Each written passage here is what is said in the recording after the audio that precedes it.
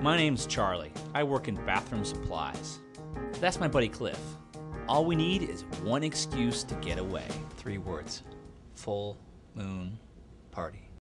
I'm in, but under one condition two weeks around the world. My buddy Paul Conkle just died. I want to take his ashes with us on the trip, sprinkle them around the world. The hell is that? It's my buddy Paul, remember? You can't carry that thing around the world. All right, hang on a second. Here you go. Come on. Our goal to visit as many countries as possible in two weeks. Our means a couple of around the world tickets and a few scams along the way. I got it all worked out. All the hotels are going to be free. Oh, Mr. Mary from Flowers.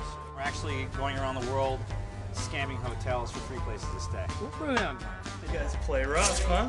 Thanks, man. Hey! What's what's the story with the knife? Protection. Protection from who? Bad people. Meet some nice people, and maybe even a girl or two.